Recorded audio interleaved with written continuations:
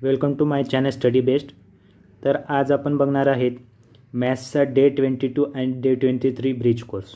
तर ऑलरेडी मी one to twenty one डेचे ऑलरेडी अपलोड केलेले आहेत व्हिडिओ तसेच टेस्ट वन आणि टेस्ट टू ऑलरेडी अपलोड केलेली आहे. आत्तापर्यंत तुम्ही पाहिले नसेल व्हिडिओ तर ते आजवर पाहू शकता. तर आजच्या लेक्चरमध्ये आपण पाहणार आहोत डे ट्वेंटी टू आणि day twenty three day twenty day twenty टूमधला पहिला जो टॉपिक आहे आपल्या टॉपिकचं जे नाव आहे नाईन स्टँडर्डमध्ये आपण बघितलं होतं. जॉमेट्रिक कन्स्ट्रक्शन आहे. त्यावर रिलेटेड ही ॲक्टिव्हिटी आहे. त्यामधला पहिला क्वेश्चन बघा काय दिलेला आहे. Draw a segment A B of length four point five seven centimetre and bisect it तर या ठिकाणी मी काढून दाखवलेलं आहे. कसं काढायचं तुम्हाला सांगतो मी एकदा. पहिल्यांदा आपल्याला काय करायचं आहे ए बी लेंथची एक फोर पॉईंट सेवन सेंटीमीटरची एक आपल्याला लाईन काढायची आहे. आडवी ए बी दिसत आहे तुम्हाला. त्यानंतर आपल्याला त्याला बायसेक्ट करायचं आहे तर बायसेट कसं करणार तुम्ही आता? आता एपासून बीपर्यंतचं जे आहे अर्ध्यापेक्षा जास्त अंतर आप अंतर आपल्या कंपास बॉक्समध्ये घ्या आणि ए पॉईंटपासून वरती मार्क करा आणि खाली मार्क करा. तसंच बीमध्ये बी बीपासून पण अर्ध्यापेक्षा जास्त अंतर घ्या कंपासमध्ये आणि तसंच मार्किंग वर पण करा आणि खाली पण करा.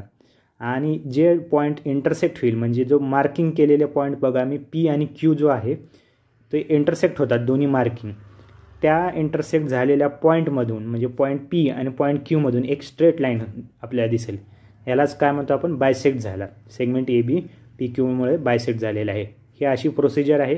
तुम्ही एकदा करून बघू शकता. त्यानंतर बघा सेकंड क्वेश्चन काय दिलेला आहे यामध्ये?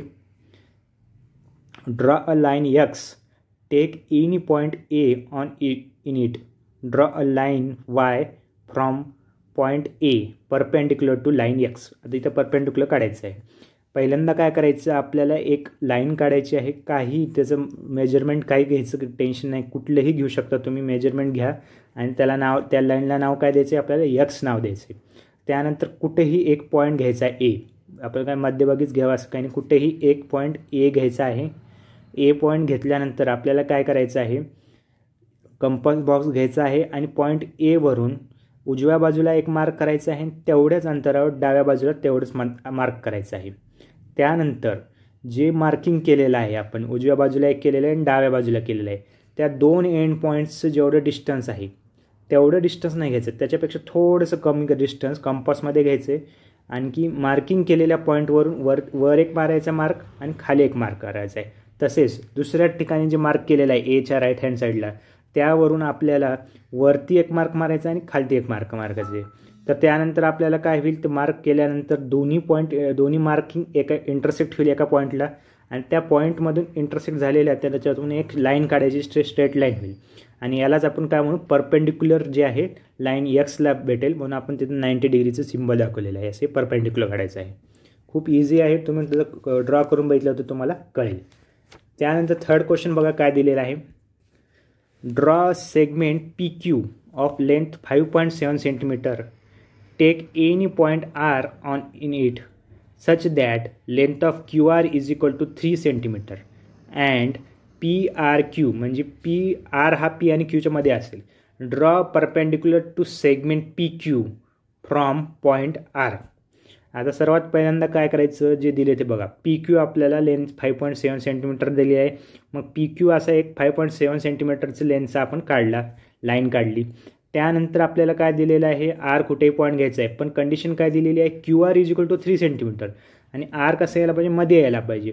मग आपण काय करायचं? क्यूच्या लेफ्ट हँड साईडला आर घ्यायचा. किती डिस्टन्सला घ्यायचा आहे? थ्री सेंटीमीटर हे स्केलनं आपण केलं. मग आर पॉईंटवरून आपल्याला परफेंडिक्युलर काढायचं आहे. आत्ता जसं मागच्या एक्झाम्पलमध्ये सांगितलं तसंच आरपासून राईट हँड साईडला एक मार्क करा तेवढ्याच अंतरावर लेफ्ट हँड साईडला ते मार्क करा. आता जे दोन मार्किंग केलेले आहेत तेवढं जे डिस्टन्स आहेत ते पूर्ण न डिस्टन्स घेता त्याच्या अर्ध्यापेक्षा जास्त डिस्टन्स आपल्या कंपास बॉक्समध्ये घ्या. त्या मार्किंगवरून वरती एक मार्किंग करा खाली एक मार्किंग करा. तसंच दुसऱ्या मार्किंगवरून वरती एक मार्किंग करा खाली एक मार्किंग करा.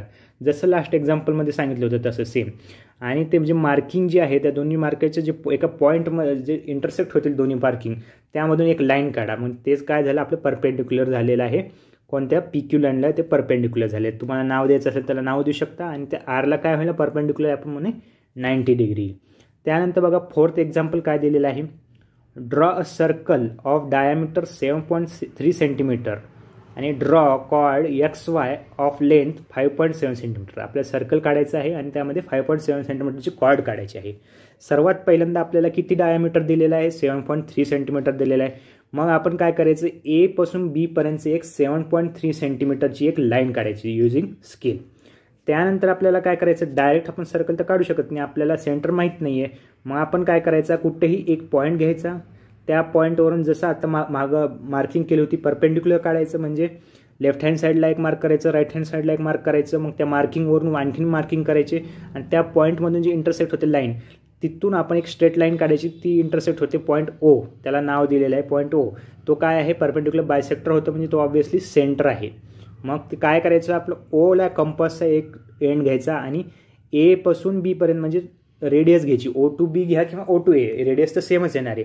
तर ती तिथून आपल्याला एक सर्कल काढायचं आपल्या युझिंग कंपस सर्कल जेव्हा निघेल ओ ॲज ओ सेंटर घेतल्यानंतर. आता आपलं नेक्स्ट स्टेप काय? कॉर्ड एक्स वाय काढायची फाईव्ह पॉईंट सेवन सेंटीमीटर मग आपण काय करायचं? फाईव्ह पॉईंट सेवन सेंटीमीटर आपण सर्कलच्या खालच्या बाजूला कुठे कॉर्ड कुठे होते बघायचे? फाईव्ह पॉईंट सेवन सेंटीमीटर ते एक्स वाय पॉईंटला ते बघा तुम्ही फाईव्ह पॉईंट सेवन सेंटीमीटर येते.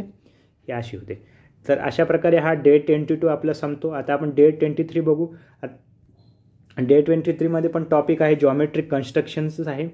आता या आपण तुम्ही बघितलं असेल की यामध्ये तोंडी सांगणं थोडंसं अवघड जाते पण तुम्ही जर प्रोसिजर जर मी सांगतो तुम्ही जर ती फॉलो केली तर तुम्हाला नक्कीच हे एक्झाम्पल येतील.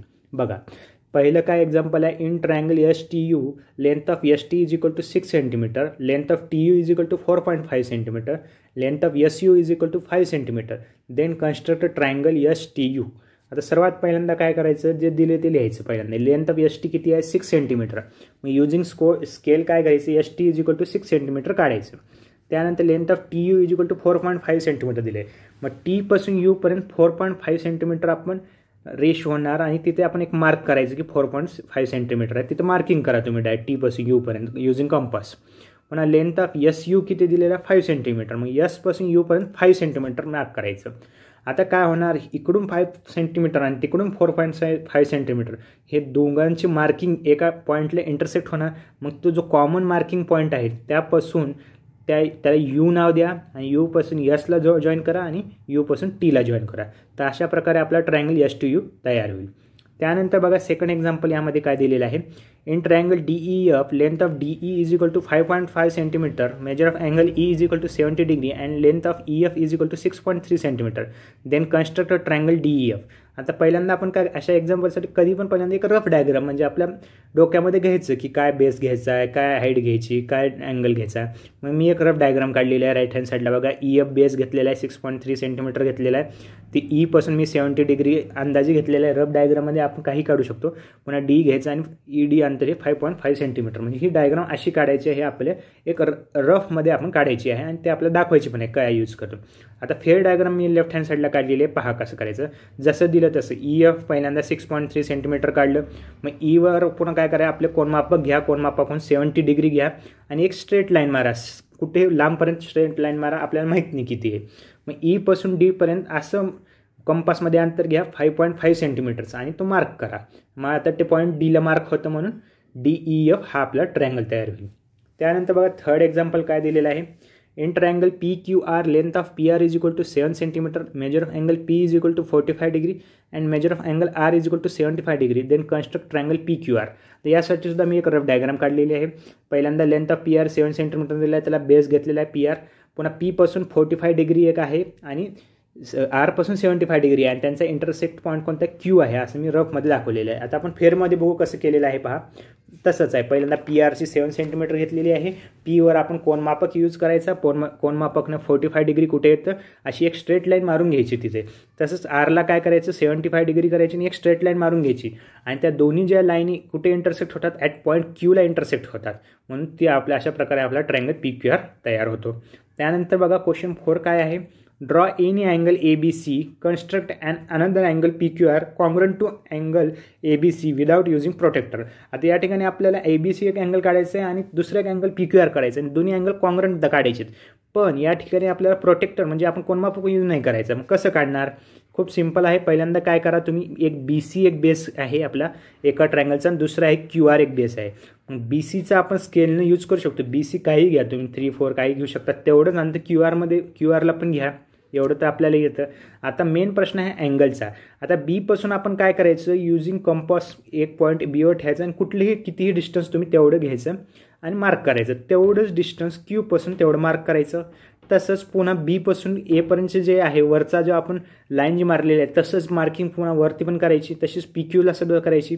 तर दोन्ही अँगल आपले हे कॉन्ग्रंट येतील विदाऊट युजिंग प्रोटेक्टर त्यानंतर लास्ट एक्झाम्पल आजच्या लेक्चरमधलं fifth example draw segment M N of length six point five centimetre in ratio three is to two तर हे खूप सिंपल एक्झाम्पल आहे. पहिल्यांदा काय करायचं? पहिल्यांदा एक यम एन लाईन काढायची. एम एन लाईन काय काढायची? सिक्स पॉईंट फाईव्ह सेंटीमीटरची एक लाईन काढायची. आता या सिक्स पॉईंट फाईव्ह सेंटीमीटरला आपला थ्री एस टू टूमध्ये रेशोमध्ये डिवाईड करायचे. तर त्यासाठी प्रोसिजर काय आहे? सर्वात पहिल्यांदा आपल्याला किती पार्ट्समध्ये डिवाईड करायचे हे लक्षात यायला पाहिजे. थ्री आहे आणि टू आहे. म्हणजे थ्री प्लस टू फाईव्ह पार्ट्समध्ये आपल्याला डिवाईड करायचे. मग पॉईंट यमपासून आपण कितीही डिस्टन्सवर एक मार्किंग करायची कुठलीही. समजा तुम्ही वन सेंटीमीटर घेताय दीड सेंटीमीटर टू कुठलीही. यम पण तेवढंच मार्क लक्षात ठेवायचं. आपल्या यमपासून समजा मी ए वन एक मार्क केला तेवढ्याच डिस्टन्सहून ए वनहून ए टूवर मार्क केलं ए टूवरून ए थ्री ए थ्रीवरून ए फोर आणि ए फोरहून ए फाईव्ह अशी मार्क मार्क करायचे जायचे त्यामधलं डिस्टन्स सेम असेल. मग काय करायचं जे शेवटचा जो पॉईंट आहे ए फाईव्ह तो डायरेक्ट आपल्या यन पॉईंटला जोडायचा कारण तो टोटल लेंथ आहे. ठीक आहे? त्यानंतर काय करायचं पुन्हा सी ए थ्रीपासून अशी मार्किंग करायची की आपल्याला पॉईंट सी शोधायचा आहे आणि पॉईंट सी आपल्याला त्यामधून भेटून जाईल. कसा भेटेल? की ज्यावेळेस आपल्या थ्री एस टू टू रेशोमध्ये आहे म्हणजे पॉईंट थ्री आणि खालून खाली पॉईंट किती टू आहेत. त्याची जर मार्किंग केली आणि जो कॉमन पार्ट आहे ती लाईन आपली कुठे पर इंटरसेक्ट होते बघायची स्ट्रेट लाईन काढायची ती इंटरसेक्ट यम एन लाईनवर होते आणि ती पॉईंट जो मधला भेटतो तो सी असतो. जर तुम्ही ॲक्च्युअल स्केलमध्ये तुम्हाला कॅल्क्युलेट करून बघितलं एम सीचं जे अंतर आहे आणि सी एनचं जे अंतर आहे ते थ्री एस टू टूमध्ये यायला पाहिजे. हे आपण व्हेरीफाय करू शकतो. तर अशा प्रकारे हा व्हिडिओ सांगतो तुम्हाला व्हिडिओ आवडला असेल तर लाईक करा. तुमच्या फ्रेंड्सबरोबर शेअर करा आणि चॅनलला सबस्क्राईब करायला विसरू नका. थँक्यू